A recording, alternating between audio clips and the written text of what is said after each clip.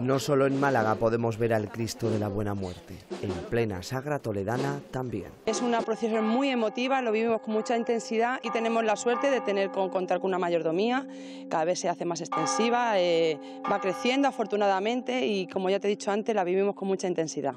Cada año esta cita religiosa es seguida por más vecinos que no solo llegan desde la propia localidad.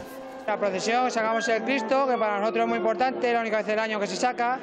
Luego contamos desde unos años que han venido lo que es la caballería legionarios, que salen los legionarios desfilando con el Cristo por las calles y la verdad queda muy bonito y viene mucha gente a verlo. Un recorrido por todo el pueblo. La imagen estuvo escoltada por la hermandad de antiguos caballeros legionarios. Sentirnos orgullosos de haber servido a, a la Legión. Hombre, pues nos gusta y aparte de que es el santo de ellos, pues acompaña una cosa con la otra, ¿no? Es lo que tiene, por eso es. Es para vivirlo, no es para contarlo. Vale la pena esperar para ver pasar la imagen. Parecida a la de Málaga, ¿eh? Usted no sabe cómo lo hacen de bien los legionarios. Bueno, es que se te pone carne de gallina, ¿eh? Con ver al Cristo es suficiente.